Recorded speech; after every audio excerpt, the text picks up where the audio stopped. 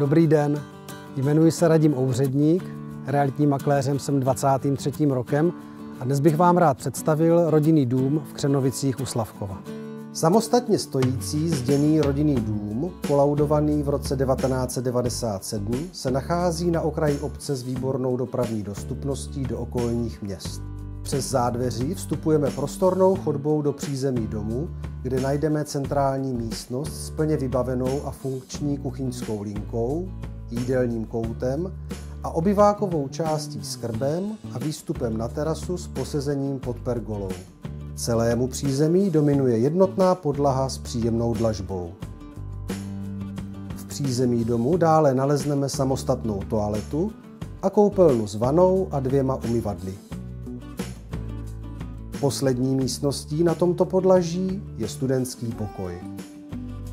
Schodištěm se můžeme dostat do suterénu domu, kde jsou prostory vhodné na podnikání, či jako další samostatná jednotka dispozičně řešená jako byt o velikosti 2 plus KK s komorou, toaletou a nadstandardně velkou šatnou.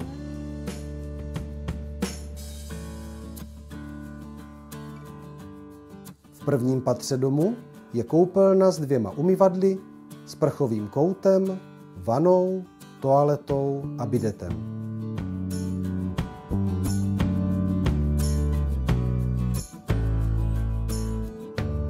Dále jsou zde dva velké pokoje se samostatnými vstupy, využívané jako ložnice majitelů, a jeden o něco menší pokoj s půdním prostorem vhodným ke spaní či skladování. Kolem domu se rozprostírá zahrada o výměře 525 metrů čtverečních. Dům má také boční vstup brankou a tři parkovací místa na vlastním pozemku před domem.